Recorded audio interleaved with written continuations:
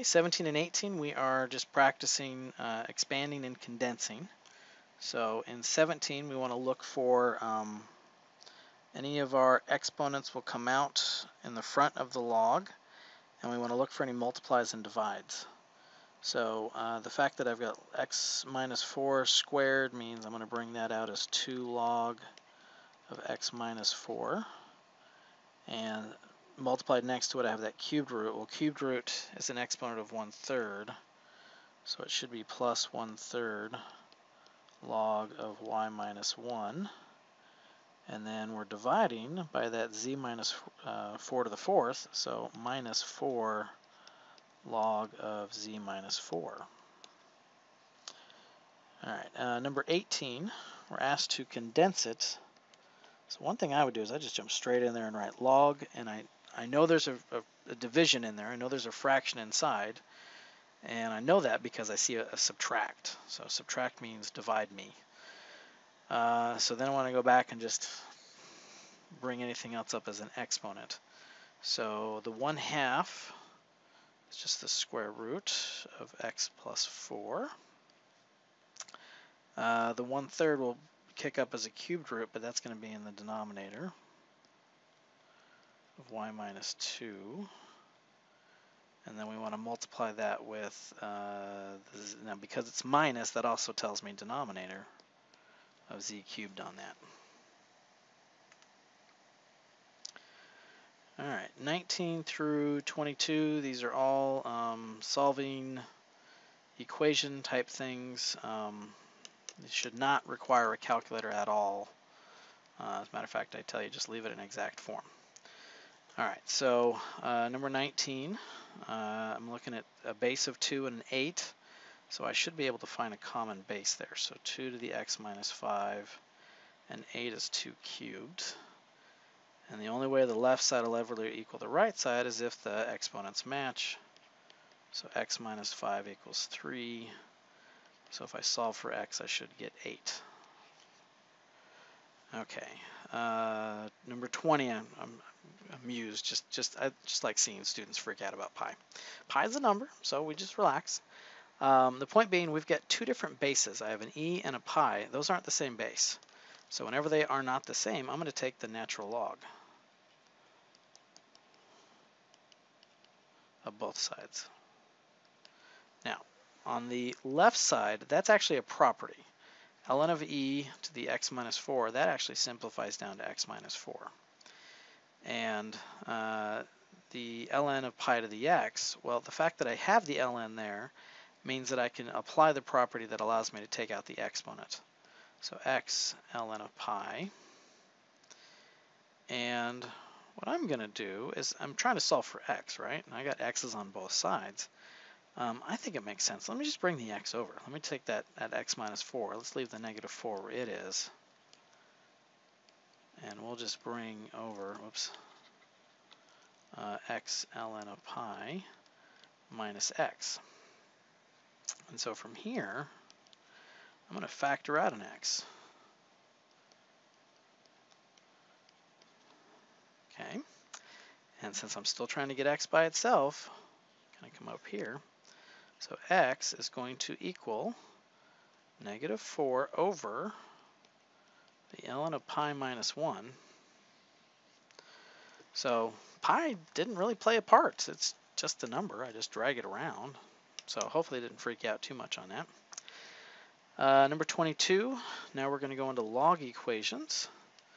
So here I have uh, two logs, so I want to bring them into a single log, and that's going to be product rule. So the log of x times x plus 15 equals 2. And now what I want to do is I want to convert that into its exponent form. So I need a base. I don't see a base. But if you don't see one, that's really base 10. So that translates into 10 squared equals x times x plus 15. Uh, well, that's just a good old-fashioned equation at that point. So uh, 10 squared is 100, and that's x squared plus 15x I'll bring the 100 over. So I get 0 equals x squared plus 15x minus 100. and that's quadratic, so I am going to hope that it is something I can factor.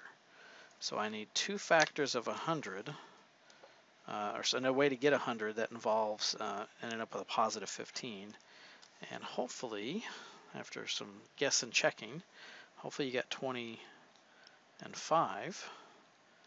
And it should be x plus 20 and x minus 5 in that factored form. And so for our solutions, uh, we get a positive 5 and a negative 20.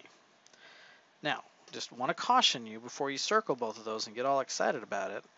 Uh, we've got a rule with logs that I cannot take the log of 0 or a negative number. So I just want to double check that when I take the log of, when I put the number into the problem, that I'm not violating a domain restriction. Uh, and so when I put 5 in, I get log of 5. Okay, we're good. Uh, log of 5 plus 15, 5 plus 15 is 20. All right, so 5 works on both accounts. Uh, negative 20, however, uh, crashes and burns on the first one. it doesn't work for log of x, so it can't take the log of negative 20. So it does not work, and our correct answer is just 5. So watch for that, because that, that is, I, I, will put one of those on this uh, on the exam. All right, number 22, uh, I've got a minus, uh, so what I want to do is bring it over to the other side. So log base 5 of x plus 3 plus log base 5 of x minus 1 equals 1. Uh, and so now that I got them on the same side, I'm going to apply the same trick that I worked on for 21, where I'm going to bring them together as a product. So log base 5 of x plus 3 times x minus 1 equals 1. And then I want to convert to exponent form. So 5 to the first equals x plus 3 times x minus 1. Uh, now it's quadratic, and we know lots of stuff about quadratics. So 5 equals, I'll just multiply that out, uh, x squared minus x plus 3x minus 3. So that would be plus 2x minus 3. Uh, when I bring the 5 over, let's see, so x squared plus 2x actually gives me a negative 8. So then I want to try to factor that. Uh, what, 4 and 2 should be a plus 4 and a minus 2. So I get a positive 2 and a negative 4. Uh, and again, I want to go back and check it, make sure I don't violate anything from the original problem. So if I take the 2 in there, 2 plus 3 is 5. Okay, we're good. 2 minus 1 is 1. All right, so 2 works just fine. Uh, the negative 4, negative 4 plus 3, all right, so I already got a negative number. So negative 4 does not work. And it's just the x equals 2, just the positive one of those. Uh, so just be careful with that. All right, last part of the exam are application problems. Uh, I did give you a couple of formulas uh, that, you know, we're going to show up on the test there. So I realized in class we learned a couple of different formulas and practiced a couple of different things on the homework. Um, but, you know, reality is you can't test everything. So just do pick a smaller sample of it. Uh, all right, so in this first question, um, see, find the amount of in each investment and then round to two decimal digits. So uh, we got $200 invested at 4.5% compounded daily for five years. Okay, so compounded daily uh, means we're going to use uh, this formula here. And so it's A equals 200, 1 plus, uh, I need to convert that 4.5 to a decimal, so 0.045 daily, there are 365 uh, days in a year. Uh, and then raise that to the 365 times 5. Uh, and so you want to go to a calculator and type that in. So 1 plus, so I'll kind of do that real quick here.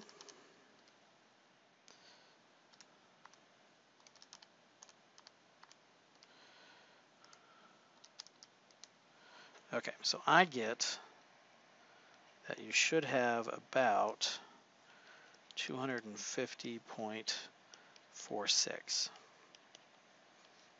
Okay, now unfortunately there's not much I can do online virtually about that. So if you're not, if you're consistently not getting these numbers, um, I would shoot me an email or stop by an office hour and just make sure that you know how to use your calculator well enough um, on that. Uh, number 24, compounded continuously. That's actually that formula right there. Uh, so A equals 250 E, I need to take that 5% and make it into a decimal times 5. And again, you want to type that in your calculator. Uh, make sure you know how to find your E button and get all that to work. Okay, and I get uh, that it is approximately $321 and uh, one penny. You know, again, round to two decimal digits.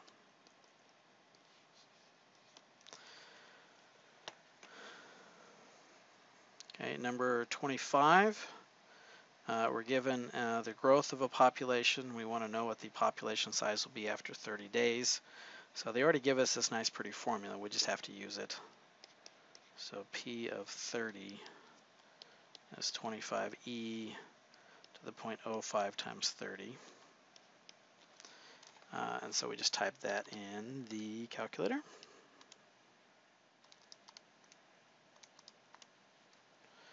All right, so I get 112.04. Uh, and then number 26, when will the population double? Well, if it's at 25 when it starts off, that that's what that 25 means. That's our starting off population. So how long till it takes till it reaches 50? Okay, so now we're solving uh, an equation of some type. So I'm going to divide by 25, so we get the 2. And then I want to take the ln of both sides, so ln of 2 equals ln of e to the 0.05 t. Now on the right side, that's actually one of our properties with dealing with ln's. So that's 0.05 t. Uh, and so t is going to equal ln of 2 divided by 0.05. So again, want to type that in our calculator. And I get 13.86 uh, days, I think. Let's say context on what that T represents. does in days. Okay, so 13.86 days. All right, well, good luck on the test.